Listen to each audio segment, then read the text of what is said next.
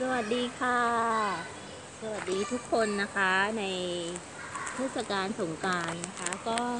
ส่งต่อนะคะ ความรักและความปรารถนาดีไปกับเพื่อนๆทุกคนนะคะ ที่อยู่บน YouTube นะคะ วันนี้นะคะคุณหมอก็มาชิวๆและลาวันหยุดนะะก็ชอบนะคะบอกว่า ชอบว่ายน้ำมากเลยนะคะ นี่ก็อยู่ว่ายน้ำแบบว่าบรรยากาศแบบว่าเอ็กซ์คลุศิมากเลยนะคะ ทีนี้ เป็นคนชอบว่ายน้ำมากเลยนะคะ แบบว่า ขอให้ทุกคนมีความสุขนะคะ ใน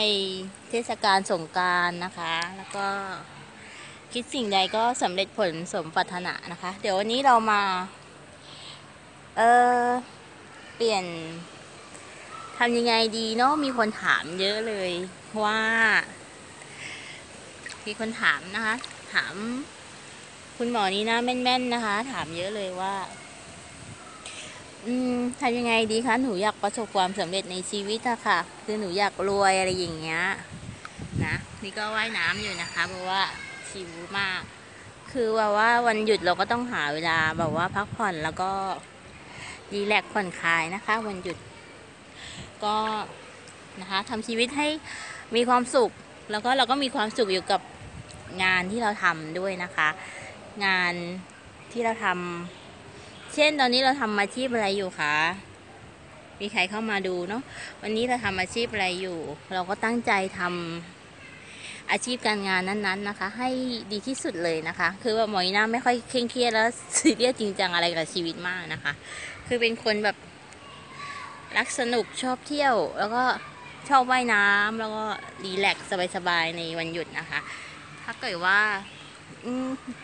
แบบบรรยากาศดีค่ะ ก็อยากจะบอกเพื่อนๆทุกคนนะคะ บน social network นะคะ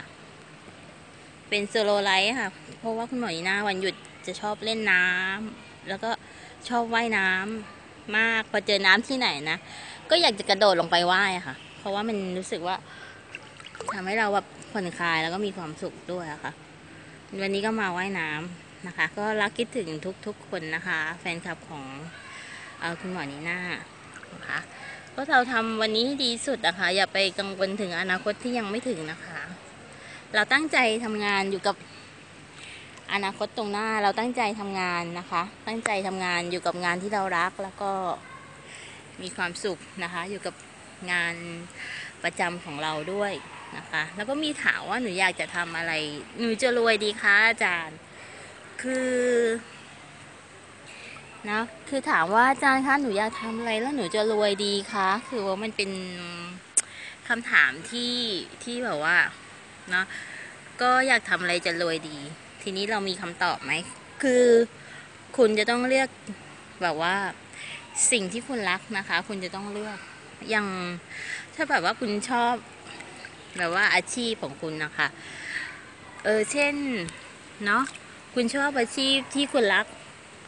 แล้วก็คุณคิดว่าอาชีพเนี้ยคุณชอบแล้วคุณมีความสามารถโดดเด่นในอาชีพที่คุณรัก แล้วก็คุณอยากจะทำมันให้ดีที่สุด แล้วคุณก็ตั้งใจนะคะทุกอาชีพก็ก็ดีที่สุดสำหรับเรานะคะ ไม่มีอาชีพอะไรที่ที่ที่ไม่ดี แต่นี้คุณก็ต้องมุ่งเป้าหมายไปนะคะ อาชีพที่จะสร้างเงินล้านได้นะคะ อาชีพที่จะสร้างเงินล้านได้ก็คือว่า เราก็ต้องมีเป้าหมายชีวิตนะ ไม่ให้จะทำไปมั่วเลื่อนลอยอะไรเงี้ยนะคะ คืออยากให้แฟนคลับของคุณหมอเนาะอ่าอยากให้แฟนคลับของคุณหมอนีน่าเนี่ยมีเป้าหมายในชีวิตนะคะ แล้วก็เลือกทางที่คุณเลือกแล้วอะค่ะว่าใช่สำหรับคุณ แต่อาจารย์จะไปบอกคุณไม่ได้หรอกว่าคุณทำอาชีพอะไรแล้วจะรวย แต่แค่แค่เป็นแนวทางได้นะคะว่า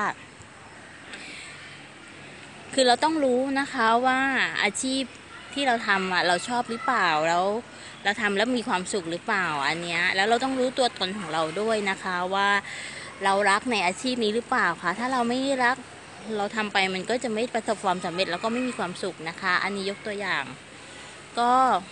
เนาะวันนี้ก็เป็นวันหยุดก็สวัสดีนะคะคุณหมอก็สโลไลท์อะค่ะ แบบ มีความสุขแล้วก็ อืม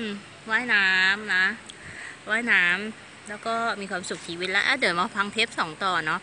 ว่าคุณอยากจะรวยแล้วคุณอยากจะมีชีวิต แล้วก็มีความสุขแบบไหนในชีวิตเหมือนนะ